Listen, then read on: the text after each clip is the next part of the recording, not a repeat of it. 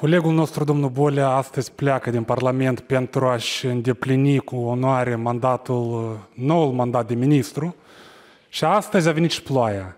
Dacă știam, dacă știam că acesta este prețul pe care trebuie să-l plătim, probabil am fi făcut acest lucru mai devreme. Dar dacă e să fim serioși, Trebuie să-i mulțumim domnului Bolea numele întregii fracțiuni PAS pentru abnegația de care a dat dovadă în exercitarea mandatului de deputat. Este încă, până la acest vot, unul din cei mai activi și eficienți deputați, nu doar din această legislatură, dar uh, chiar din legislaturile precedente.